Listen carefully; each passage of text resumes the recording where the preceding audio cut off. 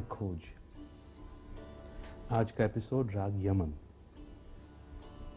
मेरा ख्याल है ये सारे एपिसोड्स में दो चार ऐसे होंगे जो सबको पसंद भी ज़्यादा आएँगे और इससे इंसान कनेक्ट भी कर सकेगा।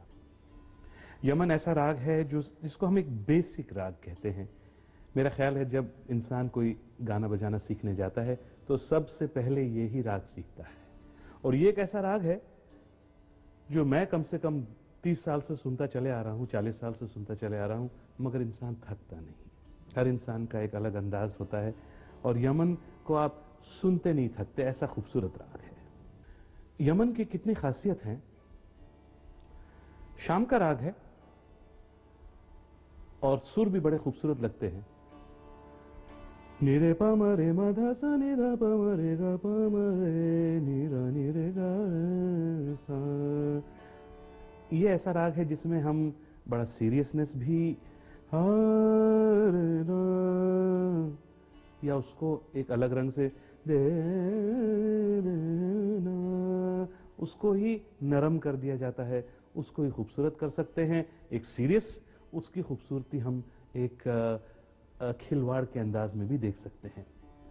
यमन का ये खासियत है कि बच्चा, बूढ़ा, जवान, जो भी लेके बैठे, वो ऑटोमेटिकली उसका खुद का अंदाज, खुद की फीलिंग उस राग में आ जाती है। बेगम परवीन सुल्ताना हमारे हिंदुस्तान की बहुत बड़ी कलाकारों में से एक है।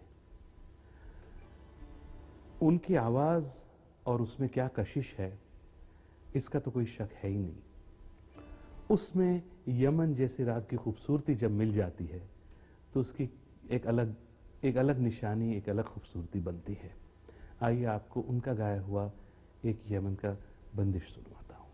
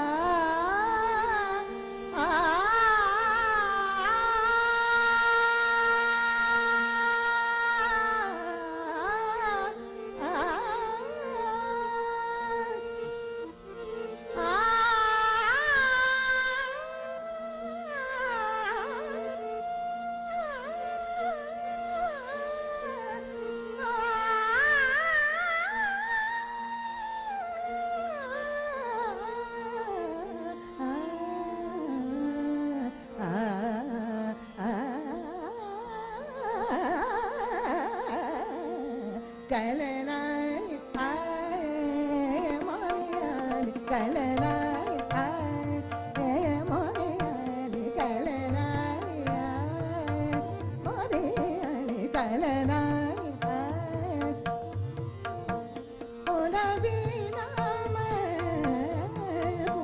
gani ni ni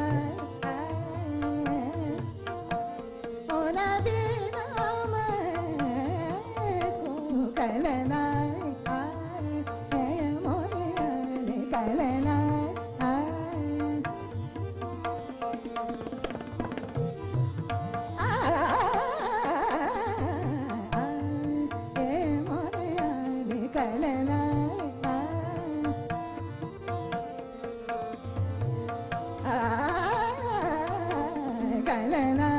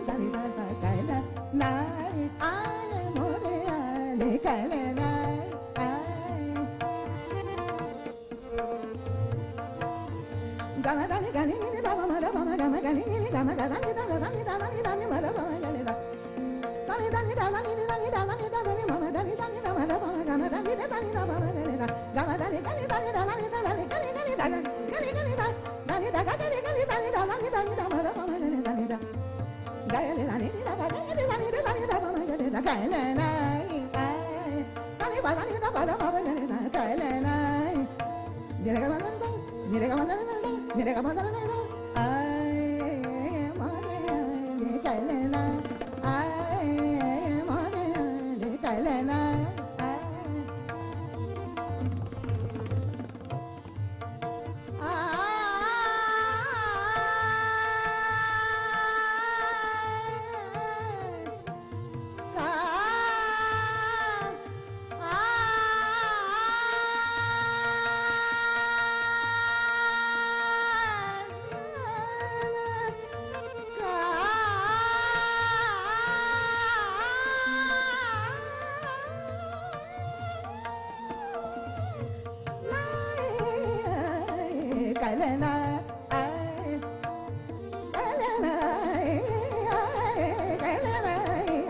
da